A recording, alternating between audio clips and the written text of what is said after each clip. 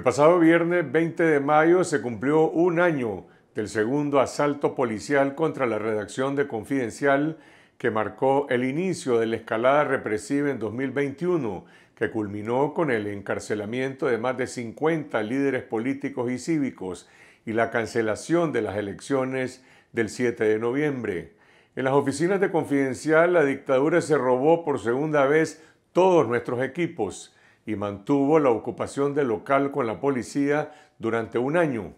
mientras que la primera redacción de Confidencial asaltada en diciembre de 2018 fue ilegalmente confiscada por el Estado al trasladarle el inmueble al Ministerio de Salud.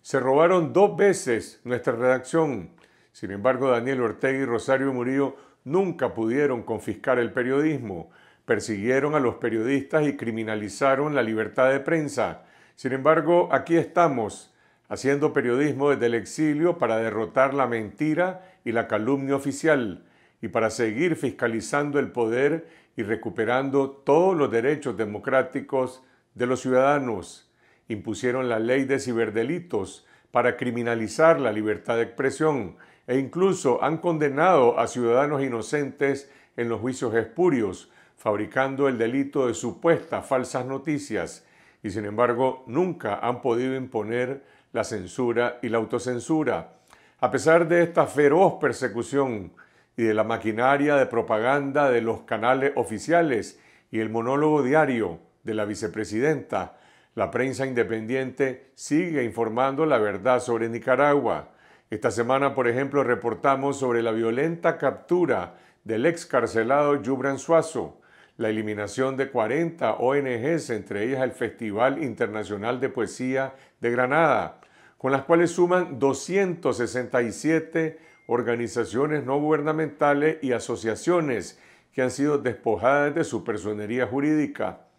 Y gracias a la información que nos brindan los servidores públicos, hay ahora más noticias y reportajes sobre los negocios privados y la corrupción de la familia gobernante mientras se disparan el costo de los alimentos y los precios de la canasta básica.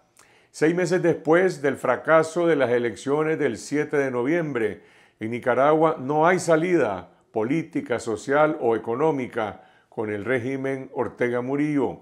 Todos los presos políticos han sido injustamente condenados en la cárcel, pero ahora hay incluso más represión que antes, no solamente contra los líderes políticos y cívicos, también contra la sociedad civil, contra la empresa privada y contra la Iglesia Católica. La persecución policial que ha denunciado el obispo de Matagalpa, Monseñor Rolando Álvarez, representa el fracaso de una dictadura que no puede acallar la voz profética de la Iglesia que predica la esperanza, la esperanza de un cambio con verdad y justicia, sin Ortega y sin Murillo, cuando en Nicaragua se puedan celebrar elecciones libres y someter ante la justicia a los responsables de los crímenes que hoy están en la impunidad.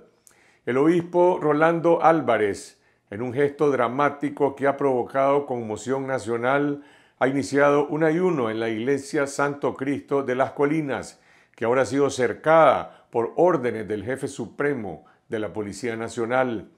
En la iglesia de las Colinas hay un religioso orando y ayunando que simboliza la libertad de conciencia y la libertad de religión. Y del otro lado, en el búnker del Carmen, hay un dictador atrincherado al poder que se aferra a la violencia y la represión.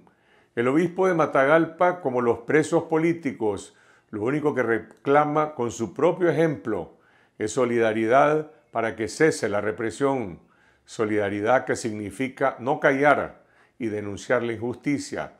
y sumarse a esta resistencia pacífica cada ciudadano de acuerdo a sus condiciones y sus posibilidades, protegiendo su seguridad